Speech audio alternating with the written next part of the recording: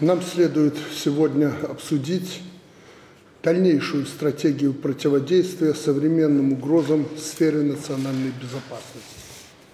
К этой теме мы обращаемся не впервые, потому что она продолжает быть актуальной, и не просто продолжает быть, но давление на нас в этой связи усиливается, поэтому и противодействие должно с нашей стороны быть соответствующим. Вы знаете, что вызовы, с которыми мы сегодня сталкиваемся, это абсолютно не новая история.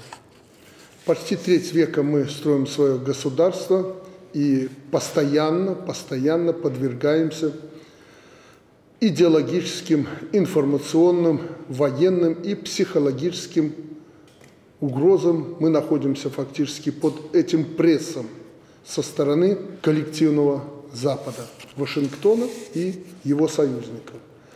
Намерения известны дестабилизировать общество, сменить конституционный строй, привести к власти нужных людей, послушных Западу, уровень технологий, брошенных на реализацию этих целей, очень высок. Надо понимать, что люди, которые следят за новостями, не всегда в состоянии отделить правду от лжи. Когда не являешься реальным участником событий и получаешь огромное количество информации в виде вранья и фейков, действительно трудно правду от лжи отделить. На Западе политику, в принципе, давно превратили в постановочное кино, шоу. Людей приучили к такому формату подачи информации, поэтому правда порой неинтересна. Интересней фейк-шоу, потому что красиво поставлен. Ну и, как я говорю, реальность порой скучна, не такая яркая, как вранье и фейки. И в этом главная проблема. В итоге мы видим даже сфабрикованные, примитивно сфабрикованные сюжеты принимаются людьми на веру.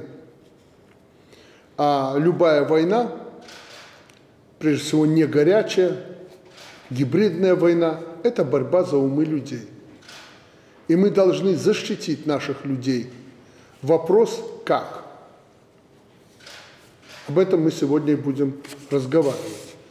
Самое главное, мы должны уметь вести контрпропаганду, как ее называли раньше в Советском Союзе.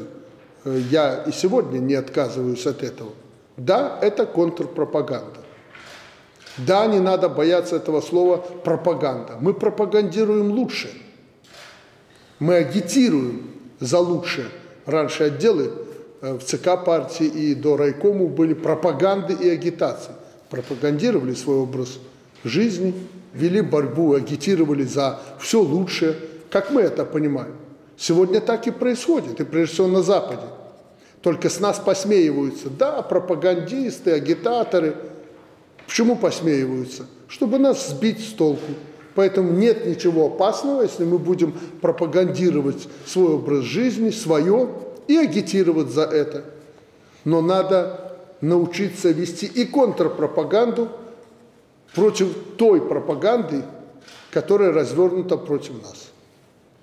Надо выработать механизмы противодействия, контрмеры.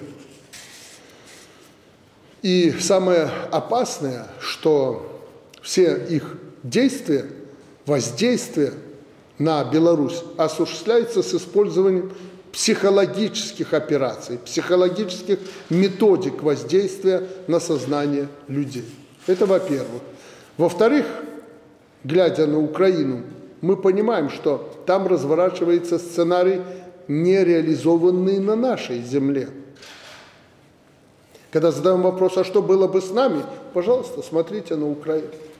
И мы понимаем уровень угроз, активность которой всего лишь сместилась на территорию соседней страны.